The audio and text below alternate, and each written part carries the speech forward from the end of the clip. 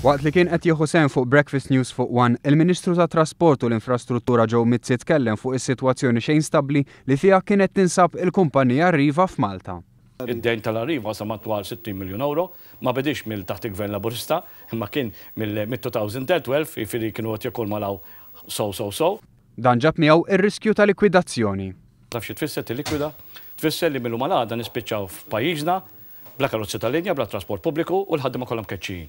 U aħna ma stajniex naffordjaw illi niġu f'dik is-sitwazzjoni. Il-Gvern għamel dak kollu possibbli biex jevita din is-sitwazzjoni u issa qed iħares 'il quddiem.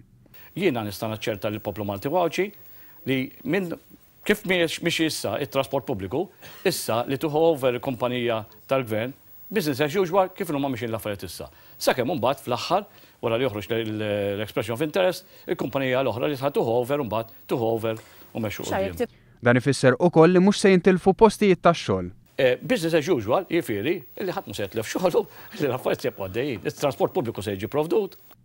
Huwa kritika li l-Partit Nazzjonalista għad-differenza fin-nollijiet bejn Maltin u barranin, meta Gvern preċedenti kien jaf li l-Unjoni Ewropea ma kinitx se taċċetta din is-sitwazzjoni.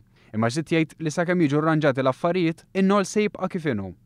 Dwar il-bidla għal kumpanija oħra huwa qal li l-proċess mhux se jkun faċli, imma r-rieda li jkun hawn sistema ta' trasport pubbliku effiċjenti qiegħda hemm. Mhijiex se tkun xi ħaġa ta' malajr hekk ċum bum, mhux se tkun xi ħaġa sempliċi, se tkun xi ħaġa diffiċli, però għandna r-rieda Nafu fejn irridu mmorru, ħa nagħmlu l-almu tagħna biex fl-aħħar mill-aħħar xi darba naslu biex ikollna trasport pubbliku effiċjenti fl-interess tal-pajjiż u fl-interess ta' kulħadd.